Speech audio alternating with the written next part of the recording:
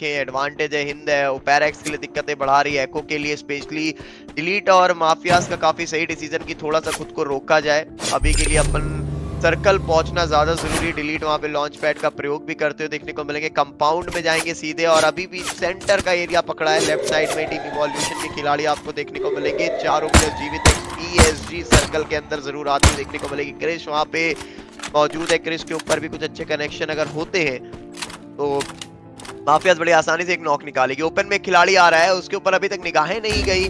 Mafia की बहुत ज़्यादा ओपन में वो प्लेयर आ रहा था। लॉन्च पैड अच्छे खासे वहाँ पे माफिया से इस बार कोई गलती नहीं। इस बार पूरी तरीके से तैयार थे।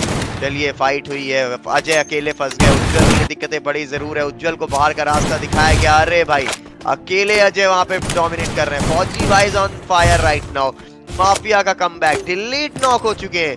ओके चलिए अब यहाँ पे अभी भी ग्रेनेड लॉन्चर का बढ़िया इस्तेमाल। लेजेंड गन स्विच ज़रूर करी। लेजेंड बच गए। डुअल यहाँ पे ग्लू वॉल बनाते हुए ज़रूर देखने को मिलेंगे। चार ही हैं अभी के लिए फ़िल्म के पास और अभी भी लगातार जो प्रयास है, वो इनकी तरफ़ से किया जा रहा है। तो ओवरऑल काफ़ी अच्छी डॉमिनेशन मिलेगी, लेकिन साथ अगर बात करें जाए बाकी प्लेयर्स के हिसाब से इजी नहीं होने वाला। एक टॉप प्लेयर को टेक डाउन करने का काफ़ी ज़बरदस्त माफिया के पास पूरी डोमिनेशन और सामने देखने को मिलेगी हिंदी के दोनों खिलाड़ी। लुइस के लिए दिक्कतें बहुत ज़्यादा। अजय, क्या यहाँ पे एक और नॉक निकाल पाएँगे? माफिया थोड़ा सा नीचे ज़रूर रोटेट करना चाहते हैं क्योंकि ऊपर से लेजेंड काफ़ी अच्छी कवर देते हैं। माफिया को सिक्स डाउन किया जाएगा। आयुष भी आ चुके हैं। देखते देखते। टीम माफिया यहाँ पे एलिमिनेशन की कगार पे खड़ी हो चुकी है। अकेला खिलाड़ी बचा है फौजी अजय। बिल्कुल भी यहाँ पे चांसेस नहीं है उनके सरवाइव करने के। लेकिन अभी भी वो खिलाड़ी पे फाइट में लगा हुआ है, क्योंकि थर्ड पार्टी हुई है टीएसजी की हिंद के ऊपर और अजय तो हालाँकि सिक्योर हो जाएँगे, लेकिन हिंद और टीएसजी के फाइट कौन निकालेगा, ये एक बहुत बड़ा सवाल, साहिल पे ज़रूर देखने को मिल रहे हैं। अजय अभी तक जीवित है, लगातार यूटिलिटीज का प्रयोग कर रहे हैं टॉप थ्री में अपनी टीम की जगह बना चुके हैं, क्या टॉप टू तक जा पाएँगे? इवोल्यूशन को एलिमिनेट किया जाएगा। हिंद के ब्लैक फौजी अजय खिलाड़ी अभी के लिए एक एक टीम से बचे ज़रूर हैं। और ये लीजिए, माफिया उतरते हुए देखने को मिलेंगे।